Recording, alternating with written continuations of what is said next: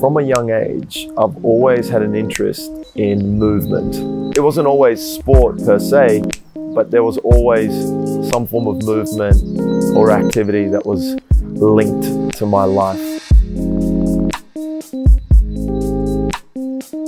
I think as I progressed through life, something kept pulling me towards understanding the human body, towards anatomy, towards exercise physiology.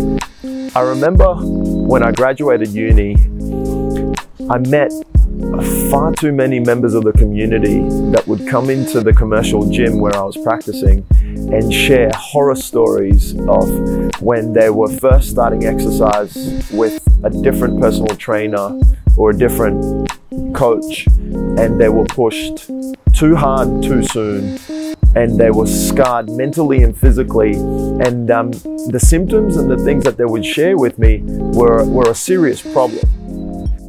There was a point in time where I had a bit of a light bulb moment and I thought to myself, hang on. As exercise physiologists, we're doing far too much of the end stage stuff where we're meeting our clients and we're helping members of the community when it's too late we're, we're having to rehab problems that really we could have prevented.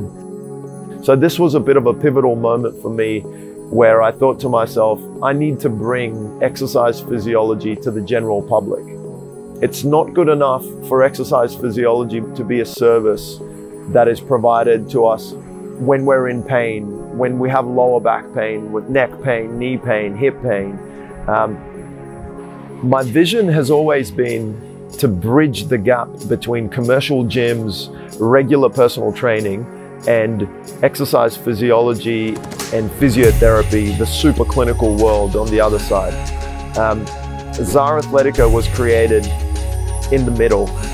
Together with my team of exercise scientists and exercise physiologists, we're redefining training every single day of the week. We're bringing years of experience years of university down into science-backed programming and delivering that to our community in Newstead every single day.